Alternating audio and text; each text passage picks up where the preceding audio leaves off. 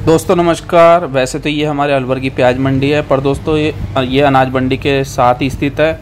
और जब दोस्तों, समर्थन मूल्य पर ख़रीद की जाती है तो इसी मंडी में ख़रीद की जाती है। दोस्तों अभी आप देख सकते हैं, आज एक अप्रैल से समर्थन मूल्य से सरसों खरीद भी जारी होना था। और दोस्तों, अभी आप देख सकते हैं, मंडी एकदम खाली दिखाई दे रही है। हालाँकि दोस्तों, ऑफ़िस ज़रूर खुला हुआ था।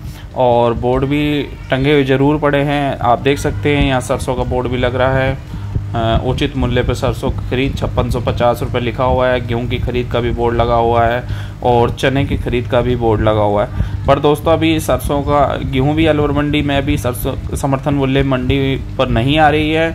और दोस्तों, सरसों का बताया जा रहा है कि अभी टेंडर नहीं मिलने के कारण अभी तीन चार दिन अभी टाइम और लग सकता है। तो इसलिए अभी सरसों की खरीद भी नहीं हो रही है। और अभी दोस्तों अभी तीन चार दिन का जैसा कि मैंने बत, आपको बताया समय लग सकता है। और इसकी जानकारी हम आपको दे देंगे कि कब सर समर्थन मूल्य पर सरसों की खरीद जारी होगी।